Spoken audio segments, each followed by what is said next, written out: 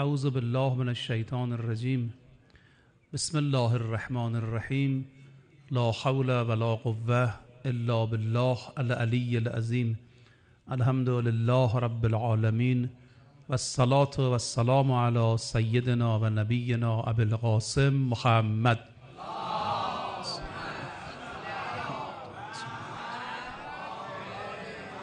و علی آله الطیبین الطاهرین سیما بقیت الله فی الارزین و اللعن اعدائهم اعداء الله اجمعین.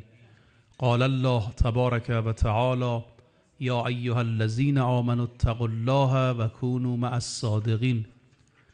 ان خداوند در این شب دلهای هممون رو به نور قرآن و معارف اسلامی منور بگرداند.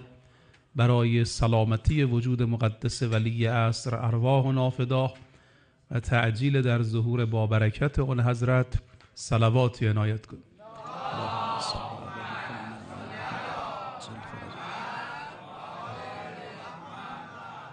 یکی از موضوعاتی که در آیات و روایات فراوان آمده در دعای کمیلم دو سه جا تأکید شده روش موضوع تقرب و نزدیک شدن به خداست. یکی از دعاهایی که زیاد ما میگیم. عرض کردم در دعای کمیل هم این تعبیر رو به کار می‌بریم. اللهم انی اتقرب الیک به ذکرک. خدایا من می‌خوام با یاد تو به تو تقرب پیدا کنم نزدیک بشم. یا همون اول دعای کمیل میگیم انتودنی یعنی من قربک خدایا منو به قرب خودت نزدیک کن. هر چی آدم پیش خدا مقرب تر باشه کاربردش بیشتره. هر چی آدم پیش خدا مقرب تر باشه کاراییش بیشتره. ببینید شما قرآن کریم میفرماید حضرت عیسی مقربه وجیه من المقربین. حضرت موسی مقربه غربناه. خب موسی چون مقرب خدا شد قدرت اعجاز پیدا کرد قدرت بیان پیدا کرد قدرت امر معروف و نهی از منکر اونم بر مقابل فرعون پیدا کرد. تقرب به خدا ببینید تقربم که میگم نه تقرب زمانی و مکانی. ما الان همه اینجا تقرب مکانی داریم نزدیک هم نشستیم. نه قرب مکانی نه. قرب زمانی هم نه. ما الان همه قرب زمانی هممون امشب اینجاییم. قرب قرب معنوی قرب حقیقی. اینی که انسان بتونه به خدا نزدیک باشه. حالا چجور میشه به خدا نزدیک شد؟ من امشب می‌خوام بحث کنم. خودش که میگه من به شما نزدیکم. اقرب الیه من حبل الورید. خودش میگه و اذا سألک عبادی انی فانی قریب. من نزدیکم. یعنی خدا از بنده ها دور نیست. مثل معلمی که به دانش آموزاش نزدیکه ولی دانش آموز گاهی از معلم دوره. معلم براش فرق می‌کنه به همه اینا نزدیک. ولی دانش آموز گاهی ارتباط نمی‌تونه با معلم برقرار کنه. یه نکته اول بگم بعد راه های تقرب به خدا رو بگم. قرب به خدا هم معلوم نیست. الان بین ماها که اینجا هستیم کی به خدا نزدیکتره؟ نمی‌دونیم تو شهر نمی‌دونیم. تو خیابون تو همسایه ها به لباس که نیست به قیافه که نیست به آرم و نشانه که نیست. سعید ابن مسیب این قصه رو گوش بدید. سعید ابن مسیب میگد که من دیدم مردم نماز بارون می‌خونن. بارون بیاد. هیچ اثری هم نمی‌کنه. یه روز دیدم که یه غلام سیاه چهره صف جمعیت رو شکافت جدا شد. از این جمعیت که نماز میخوندن جدا شد و رفت یه گوشه سرش رو گذاشت به سجده شروع کرد. خودش سواکار نماز خوندن مناجات کردن. به خدا عرض کرد الهی لا ارفع و رأسی من از سجود سر از این خاک بر نمیدارم تا بارون بیاد. این چه وضعیه؟ مردم دارن اذیت میشن. خدایا سر بر نمیدارم تا بارون بیاد. سعید ابن مسیب میگه من یه وقتم وضع هوا عوض شد. تغییر کرد. ابر تو آسمان فشرده شد و بارون گرفت. فهمیدم کار این بوده. احدی نفهمید. این همه آدم زمان سعید ابن مسیب زمان امام سجاده. زمان امام سجاد مدینه پر از عالم بوده. پر از عالم بوده. علمای زیادی تو مدینه بود دیدم کار این غلام گرفت. دنبالش کردم ببینم کجا میره. دیدم اومد اومد اومد رفت خونه امام سجاد. رفتم خدمت آقا علی ابن الحسین علیه السلام و گفتم آقا یه کسی اومد خونه شما من اومدم دنبالش اونو میخوامش. آقا فرمودن نگاه کنین غلامانی که این غلاما شاگردای امام سجاد بودن. پیش امام سجاد تلمز می‌کردن. عاشق امام بودن. یه نگاهی کردم یک دو سه چهار پنج گفتم نه اینا نیستن. آقا فرمود هر کیه همینه. گفتم نه آقا اومد خونه شما ولی ها فرمود بله. یه نفر هست تو استبل اسبا رو نگر میداره غذا میده به این حیوانات. اونا صداش بزن. صدای زدن آمد دیدم بله خودشه. گفتم ها این بود.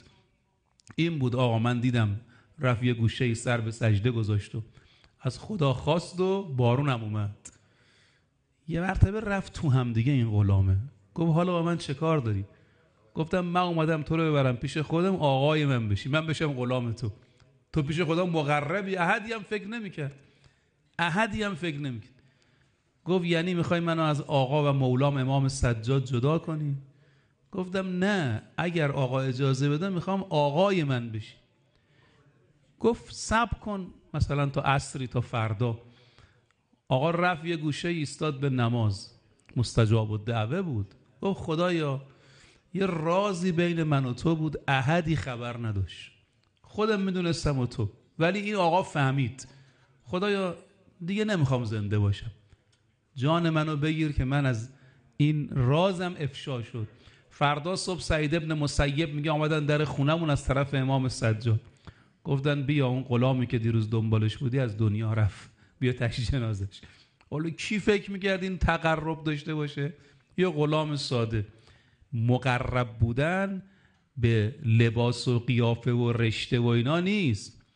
یه وقتی آقای بود این مرکب امام صادق رو می آورد آقا که سوار می‌شد می‌رفت مسجد مرکب و دم در نگر می داشت کارش این بود. آقا می‌رفت نماز می‌خوند دوباره ما سوار بر این مرکب می‌شد.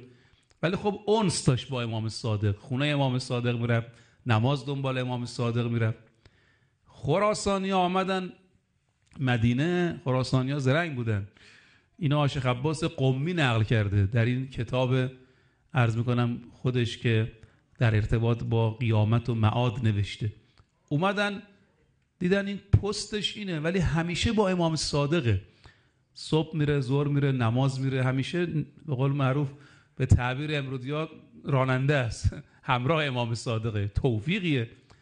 یکی از اینا بهش گفت فلانی من خراسان باغ دارم خونه دارم امکانات دارم همه رو میدم به تو این پست بده به من. من بشم خدمتگزار امام صادق. اینم یه خورده همچین فکر کردید پیشنهاد بدی نیست. اومد خدمت امام صادق گفت آقا جان آقا هم بگو. گفت اگه کسی خیری بخواد ما برسونه شما جلوشو می‌گیری؟ نه. برای چی جلو خیر رو بگیریم؟ گفت آقا یکی پیدا شده می‌خواد باغ و خونه و همه رو بده به ما این کار رو از ما بگیره. بشه غلام شما. فرمود خودت می‌دونی اختیار با خودت. خوشحال شد. همچی که داشت می‌رفت آقا صدای زد. خیلی باید جاهل و آگاه کرد. یه وقتی کسی داره خونهش رو میفروشه ماشینش رو میفروشه توی شرایط. شما می‌دونی بابا برو اختیار با خودت پسرم برادرم. ولی بدون این زمین گرون میشه. بدون ماشین گرون میشه. الان موقع فروشش نیست. آقا صدای زد. فرمود ببین همینقدر بهت بگم روز قیامت پیغمبر گرامی اسلام در پرتو نور خدا وارد بهشت میشه. با یه عظمت و ابهتی. امیر المومنین در پرتو پیغمبر وارد بهشت میشه. ما ائمه هم به دنبال امیر المومنین چون تو ائمه ما از هر کدومشون سوال می‌کنن میگن ما مساوی هستیم جز امیر المومنین افضل ما علی ابن ابی طالب. همشون برای حضرت امیر حساب ویژه قائل بودن. اول رسول خدا بعد امیر المومنین بعد ما بعدم اونایی که اینجا با ما بودن. در خونه ما بودن خدمتکار ما بودن برای ما نوشتن برای ما اینا رو با خودمون می‌بریم. آقا ریختش به هم خلاصه. ریختش به هم. یه کمی رفت جلو و برگشت و پشیمان شد. وقتی می آمد خراسانیا گفتن این وقتی می‌رفت یه جور دیگه بود. وقتی برمیگردی یه جور دیگه است. این پشیمون شده. اومد جلو و گفتن چی شد؟ گفت پشیمان شدم. آقا یه چیزی گفت. من در این خونه رو رها نمی‌کنم برم. می‌خوام بمانم اینجا. خیلی مهمه. یعنی وقتی برای خادمای امام رضا من عرض کردم. یه رفیقی داشتیم آقا چند سال پیش فوت کرد. آقای شیخ پور خدا رحمتش کنه خیلی جوان خوبی بود. تمام نماز صبح حرم امام رضا تمام دعا ندبه ها دعا کمیلا. خب تصادف کرد و از دنیا رفت تو مشهد. خیلی هم بدجور تصادف کرد. یکی از این رفقای من که الان هست و اهل منبرم هست. میگم اینو خوابش رو دیدن. گفتن که آقای فلانی کجایی؟ چه می‌کنی؟ گفت اونجا ما خدمتگزار امام رضاییم. امام رضا اینجا خادمش بودیم اونجا ما رو خیلی مهمه خدا رحمت کنه. آیت الله مرعشی رو آیه تبرسی برا من نقل می‌کرد. میفرمود یه نامه یه پی که اومد در خونمون از طرف آیت الله عظمای مرعشی رفتم و گفتن آقا نامه فرستاده و تازه میشون شده بود تولیت آستان قدس. فرمود که پیک و نامه رو باز کردم دیدم آقا نوشته که اسم منو جزو خادمای امام رضا بنویسید و خلاصه به منم یه حکم بدید. ایشون کمال افتخار که آقای مرعشی خادم افتخاری امام رضا بود. هم حضرت معصومه بود هم اونجا. فرمود براش خلاصه حکم زدیم و گفت حکم بزنید حکم رسمی بزنید برا من. خلاصه خراسانی ها گفتن چی شد؟ گفت آقا من نمیام پشیمون شدم. برگشت و آقای امام صادق خوشحال شد از این که این خلاصه مونده. هزار درهم بهش داد. فرمود اینم پول. ما اهل بیت دنیاتونم را میندازید حالا می‌خوام اینو عرض کنم. آقایون ببینید واقعا مقرب بودن به چیست؟ اویس پیغمبر رو ندید ولی مقرب بود پیش پیغمبر پیش خدا. آدمایی هم بودن کنار پیغمبر. من حالا این بحثم گسترده است. اتفاقا یه جوانی بود یه وقتی دانشجوی ما بود. من بهش گفتم برو روی این یک کتاب یه رساله بنویس. تقرب عوامل تقرب. رفت و نوشت و چاپم شد و کتابش هم برای من آورده. کتاب خوبی هم هست. عوامل تقرب. خیلی مفصل. یه پایان نامه 6 ماه روش کار کرد. طبعا روی منبر نمیشه همه اینا رو گفت. ولی من چند تاشو براتون میگم. چطور میشه به خدا تقرب پیدا؟ یک اخلاص. الاخلاص و عبادت المقربین. هر چی آدم خلوصش بیشتر باشه به خدا نزدیکتر میشه. و این خیلی نکته مهم است اخلاص. هر چقدر انسان انگیزش از تشکیل روزه از بیمارستان ساختن از خونه ساختن از کارهای خیر انما. هر چی آدم تونست این رنگ و رنگ خدایی خدا رحمت کنه امام رو. آزادشون میفرمود یه شب گفتم بابا همسایه‌مون روزه داره. مثلا یکی از آقایون توی همین یخچال قاضی. بریم روزه. اومده خونمون خوب نیست. گفت که فرمود هر چی فکر می‌کنم قصد تقربم نمیاد. قصد قربت نمی‌تونم بکنم. نیومد. آخر نیومد. قصد قربت نمی‌تونم که برای خدا بیام این روزه رو. این البته مشکله ها. فوق العاده مشکله. اینی که علامه طباطبایی دارد روایت آورده حدیث آورد الاخلاص سر من اسراری. اسر... سری از اسرار الهی است. ولذا آدمای مخلص تو بهشتم سیدن یعنی سید یعنی آقا. المخلصون سادت و اهل الجنه. بهشتم سادات داره دیگه. ساداتش کیا هستن؟ المخلصون انسانهای با اخلاص سادات اهل بهشتن. و این نکته بسیار مهمی است که انسان بتونه تو زندگیش این اخلاص رو حفظ کنه این اخلاص رو نگه داره. یه وقتی یه کسی اومد خدمت امام جواد علیه السلام خلاصه ما تعریف کنه آقا ما چه کردیم؟ گفت آقا امروز خیلی خوشحالم. آقا فرمود مالی عراک مسرورا. خیلی امروز رو فرمی به قول ما. امروز همچین شادی. مالی عراک مسرورا. شنگولی. آقا خدا اون به میگیم همون شادی شنگول. مالی عراک مسرورا. خیلی خوشحالی. گفت بله آقا. ده تا فقیر امروز به مراجعه کرد. کار ده هم راه انداختن خوشحالم آقا فرمودن که قرآن خوندی؟ لا تبتلو صدقاتکم بالمن والعزا. صدقاتتون رو با منت و اذیت باطل نکنید. کار خیر کردی ولی اخلاص چقدر توش بوده گفت نه آقا یه کلاس رفت بالاتر. یه کلاس. گفت آقا انا من شیعتکم من شیعه خالص شما. ما که دیگه حالا ارزم اینجاست که آقا فرمودن چی؟ انا من شیعتکم. فرمودن که خیلی خرابترش کردی. ادعای تشیع. می‌دونی شیعه سلمان بوده ابوذر بوده مقداد بوده. اینو می‌خواست امام می‌خواست اینو متوجهش کنه که کارو خراب نکن. آقایان عزیز خواهران گرامی. این اخلاص اخلاص اون نکته اساسی و ریشه است که الاخلاص و عبادت المقربین اینی که آیت الله آزمای بروجردی اشک میریخت تو بستر. فرمودن آقا شما خیلی کار کردی. میگو بله اما اخلاصش کو. خدا قبول کنه. حضرت ابراهیم وقتی خونه خدا رو ساخت خیلی زحمت کشید.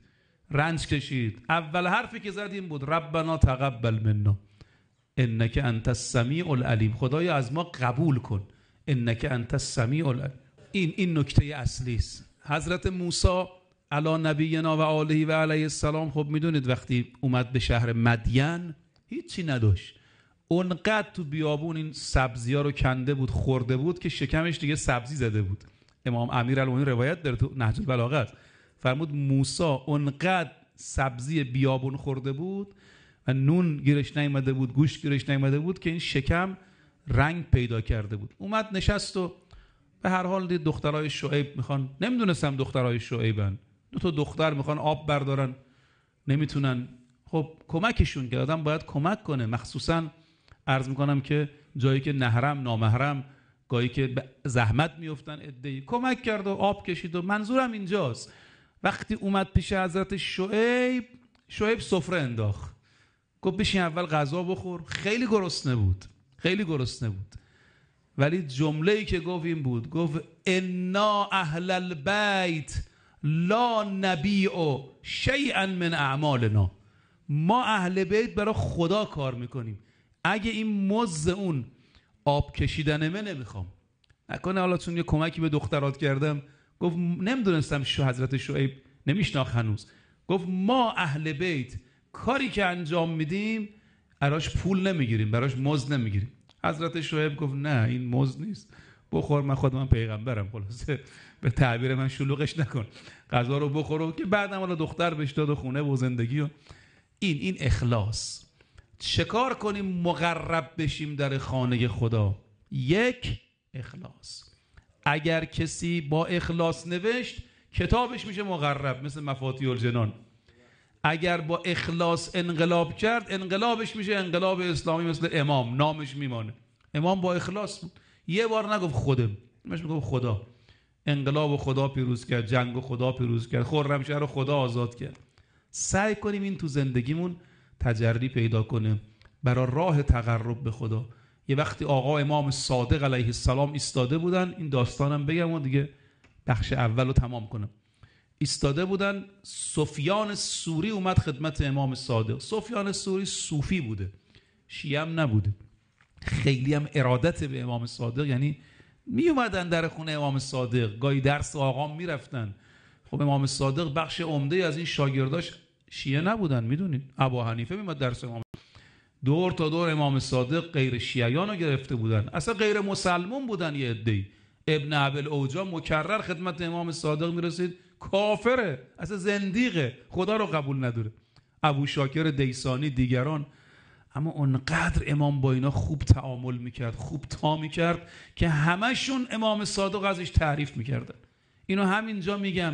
که بدانیم این روشی که ادهی در پیش گرفتن برای برخورد با عرض می‌کنم و تبلیغ ائمه روش درستی نیست. ببینید ما حق نداریم به مقدسات دیگران توهین کنیم.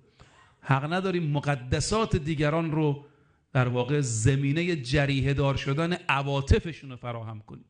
بالاخره یه تو دنیا یه چیزایی براشون مقدسه ولو اون چیز برای شما مقدس نیست. ببینید شما شما خودتون الان تو فامیلتون یه چیز مقدسی دارید یه فرد مقدسی دارید. الان یهود براش تور سینا مقدسه اسمش هم تو قرآن اومده به تور سینین. بیت المقدس براش مقدسه مثال عرض می‌کنم. در جهان مسیحیت ما الان چیزهایی داریم کلیساهایی داریم مراکزی داریم مقدسه بنده رفتم خیلی از کلیساهای کشورها رو. چیزایی هم توش اصلا با روحی ما جور در نمیاد. مناسب باورهای ما نیست. ولی هیچگاه نمیشه توی کلیسا میریم توهین کنیم. میگیم بالاخره این برای این گروه مقدس. بعضی متاسفانه مفهوم براعت رو نفهمیدن که معنای براعت نپذیرفتن اعتقادات و باورهای غیر ائمه است. نپذیرفتن مفهوم سقیف است مفهوم خلافت مفهوم حکومت اموی و عباسیه. بله ما زیر بار این نمیریم. معناش این نیست که یه وقتی مخصوصا در دنیایی که باعث تحریک عواطف و احساسات و برهم ریختن اون جمعیت ها میشه. امام صادق علیه السلام و یارانش در اقلیت بودن تو مدینه. دور تا دورش صوفی بود زندیق بود اهل سنت بودن. اهل سنت هم متعدد. مالکی بود انبلی بود حنفی بودن ابو حنیفه خودش بود. حالا اینو می‌خوام ارز کنم. سفیان سوری از کسانی است که خیلی امام صادق رو قبول نداره. ولی میومد گاهی خدمت امام صادق از علم امام استفاده می‌کرد. آقا داشت می‌رفت یه جایی سوار اسب شده بود آماده بود که بره. این رکاب تو رکاب پاشو گذاشته بود و حرکت کنه. سفیان سوری با رفیقش رسیدن. سلام علیک و احوال پرسی و به آقا گفت آقا من یه خواهشی از شما دارم. آقا بگو. گفت شنیدم جد شما رسول خدا تو مسجد خیف. تو منا. یه خطبه ای خوانده و اونجا یه نکات مهمی رو فرموده. میشه اون خطبه پیغمبر رو در منا برا من بگید؟ آخه آدم باید زمان شناس هم باشه. آقا داره میره در خونه سوار مرکبه. حالا یا مهمان بود یا کار داشت. آقا بعضی اوقات می‌بینی توی جمعیت شلوغی توی جایی بعضی هم یعنی سوالی مطرح می‌کنن اصلا جای پاسخگویی نیست. آقا بهش فرمودن که سفیان من آزم جاییم. الان موقعش نیست. اصرار کرد. گفت نه آقا نه. بگید من میشه دیگه حیفه پیغمبر خدا تو مسجد خیف چی فرمود؟ همین الان بفرمود آقا بهش فرمودن خب بنویس. حالا من گفتم و تو یه ساعت یادت رفت. اقلا بنویس بابا قلم کاغذی بهتون باشه. احادیث روایات یه شعر خوب یه مطلب خوب. بنویس. گفت آقا چیزی همرام نیست. آقا من برید از خانه براش قلم کاغذ بیارید. رفتن از داخل خانه امام صادق قلم و کاغذ بهش دادن و گفت آقا بفرمایید می نویسم فرمود جدم. حالا اینا رو مقدمش اول گفتم که بهتون بچسبه حدیث. فرمود جدم رسول خدا تو مسجد خیف. منا انشالله خدا قسمتتون کنه مسجد مهم نیست. گرده در طول سال بسته. ایام حج بازش می‌کنه. عرض می‌کنم که اونجا مردم رو جمع کرد. فرمود مردم سخن منو بشنوید. فلیبلغ القائب الشاهد و القائب هر کم که نیست اونایی که هستن بهش بگید. حاضرین به غایبین. این عربان میگن. این پیغمبرم فرمود. فرمود حاضرین هم به غایبین اطلاع بدن. مهمه. خب حالا چی فرمود؟ حالا سفیان داره می‌نویسه. امام صادقم میفرماید این حدیث رو مکتوب کرد. فرمود جدم رسول خدا فرمود سه چیزه که قلب انسان به اون خیانت نمی‌کنه. یعنی سه تا ویژگی مهمه اساسیه. تو زندگی مسلمان باید باشه. اخلاص العمل لله. اولیش عمل آدم خالص باشه. ببینید این منظورم اینجا بحث اخلاصه بود. اخلاص العمل لله. عمل انسان باید خالص باشه. برای خدا باشه. دو امام علیه السلام در این روایت نورانی فرمودند که النصیحت لعمت الحق او لعمت المسلمین. آدم خیرخواه ائمه و پیشوایانش باید باشه. اگه خطایی کردن حالا غیر معصوم البته تذکر بده حمایت کنه. پیشوایان حق رو باید حمایت کرد. امام حق رو باید حمایت کرد. و سوم اللزوم لجماعتهم. از جماعت مسلمان جدا نشید. خودتون رو تفرقه بینتون نباشه سفیان سوری رو نوشت و آقام رفت. رفیقش بهش گفت که فهمیدی امام چی گفت؟ گفت بله فهمیدم دیگه حدیث پیغمبر رو خود گفت نه آقا در واقع به تو تعریض زد. چون شما از جماعت مسلمین جدا شدید. صوفی بودن دیگه نه جزو خودشون بر خودشون فرقه درست کرده بود. شما از جماعت مسلمین جدا شدید. حالا منظورم اینجاست عزیزانی که دیرتر رسیدید بحث ما امشب این بود راه تقرب به خدا چیه؟ تو دعای کمیل میگیم ان تدنیانی من قربک اللهم انی اتقرب الیک به ذکرک تو دعای جوشن میگیم یا اقرب من کل غریب. بحث قرب خیلی مهمه. هر چی آدم به خدا نزدیکتر باشه کاربردش بیشتره. راه تقرب به خدا چیست؟ تا اینجا یه راشو گفتیم. چی شد؟ اخلاص. اگه کار برای خدا بود آدم مقرب میشه. پرتوه. به اصطلاح نور الهی تو زندگیش تجلی می‌کنه. دو سه تا راه دیگه هم بگم. دعاتون کنم. راه دوم تقرب به خدا تواضعه. خدا به حضرت موسی وحی کرد. موسی همونطور که متکبر رو ازش بد میاد از من دوره. همونطور متواضع به من نزدیک. اقرب الناس الله المتواضعون. غریبترین و نزدیکترین مردم به خدا اهل تواضعن. لذا امیر المومنین علیه السلام تو خطبه حمام خطبه حمام خیلی خطبه مهمی است. حمام با هی دو چشم اسم اون بنده خداست. خطبه نهج البلاغه همش اسم نداره. از مجموع این خطبه شاید ده دوازده تاشو سید رزی اسم گذاشته. خطبه قاسعه خطبه حمام خطبه عرض می‌کنم که اشباه. یه چند ایشون اسم گذاشته. ولی اخیرا دیدم یه آقای نهج البلاغه نوشته تمام خطبه های نهج البلاغه نامگذاری کرده تمامشو به ذوق خودش اسم گذاشته. مثل قرآن که همه سوره ها اسم داره ایشون هم همه خطبه ها و کلمات قصار و نامه ها رو اسم گذاشته. در خطبه متقین میفرماید یکی از صفات اهل تقوا اینه مشیهم التواضع. اینا اهل تواضع و فروتنی مخصوصا آقایان عزیزان برادران تواضع در مقابل پدر و مادر در مقابل عالم در مقابل بزرگترها وقر و کبارکم در مقابل کسانی که به هر حال آقا شما یه آدم مشهوری شدی حالا منبری مشهور شدی سخنران مشهور شدی کاسب مشهور شدی. اما این پیشکسوت این رشته بوده. تحویل گرفتن پیشکسوت ها متاسفانه اینا یه مقداری گاهی تو بعضی از قشرها کمرنگه و این کار خوبی نیست. هرچی انسان تواضعش فروتنیش بیشتر باشه رشدش تعالیش ترقیش نزد خدا بیشتره. خدا رحمت کنه. آمیر زواده های تهرانی رضوان الله تعالی علیه شرح حالش دیدم چاپ شده. دو تا چیز دیدم خیلی خوشحال شدم. یکی تفسیر ایشون بود یکی هم تفسیر آشیخ مرتضای حائری. خدا هر دوشون امشب با پیامبر اکرم محشور کنه بسیار افراد بزرگی بودن. آشیخ مرتضای حائری رضوان الله تعالی علیه درس تفسیر تو مسجد امام داشت. ادهی شرکت می‌کردن. یه 150 جلسهش ضبط شده. یه آقای زحمت کشیده پیاده کرده. دو جلد کتاب چاپ شده. به نام همین تفسیر آیت الله آشیخ مرد ظاهری قوقاس انقدر این تفسیر قشنگی من انقدر تاسف خوردم وقتی این تفسیر رو دیدم. دیدم کاش که ایشون یه تفسیر کامل قرآن گفته بود. اینقدر تو آیات عمیق وارد شده اونقدر آیات و قشنگ حلاجی کرده که آدم تعجب می‌کنه. چون آقا فهم قرآنم عالم می‌خواد فقیه می‌خواد اهل فهم می‌خواد. یکی هم عامل زواده های تهرانی بود. زواده تهرانی عجیب بود عجیب بود. رفقا می‌گفتن از خونه اومد بیرون بریم یه جایی. آماده بود ماشین سوار شه آقا وایسید من کار دارم الان برمیگرد برگشت. رفت تو خانه و یکی دو دقیقه بعدش اومد آمیر زواده های تهران. گفتم آقا چه کار داشتید تو منزل؟ نه عبایی عوض کردید نه لباسی عوض کردید. فرمود یه مورچه رو عبام بود. اونجا که نشسته بودم تو حیات اومده بود رو عبای من. ما که اومدیم بیرون اگه اینو بندازم راشو گم می‌کنه.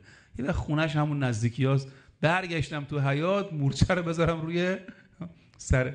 این آدمی که آزارش به مورچه نمی‌رسه. گفت یه مورچه رو عوام بود برگشتم اینو. این تواضع این فروتنی. و لذا دومین راه قرب به خدا تواضع. یکی دیگه بگم و تمام. اقربکم الی الله احسنکم خلقا حسن خلق. خوش اخلاقی هم خدا رو انسان رو به خدا نزدیک می‌کنه. پس اگر تو دعای کمک می‌خونید اللهم انی اتقرب الیک. خدای ما می‌خوایم به تو نزدیک بشیم. چی شد؟ اخلاص تواضع حسن خلق. البته از صلات و قربان و کل تقی. نماز آدم هرچی بیشتر بخونه به خدا نزدیک میشه.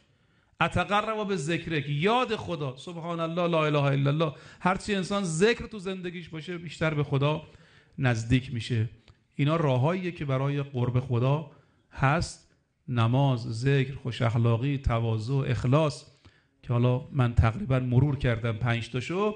سعی کنیم تو زندگیمون انشاءالله این تقرب پیدا بشه. و اما یکی از مهمترین راه های تقرب به خدا هم ارتباط با اهل بیت اسمت و تهارته چرا؟ چون اینا مقربن.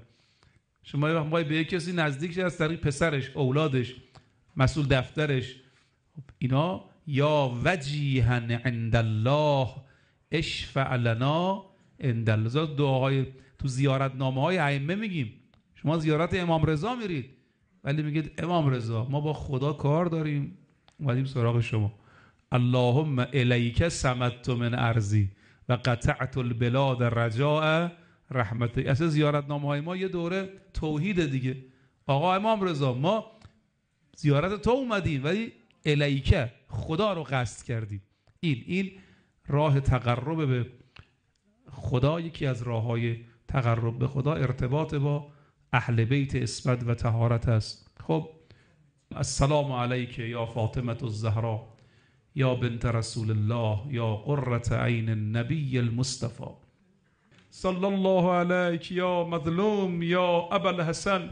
یا ربنا یا ربنا.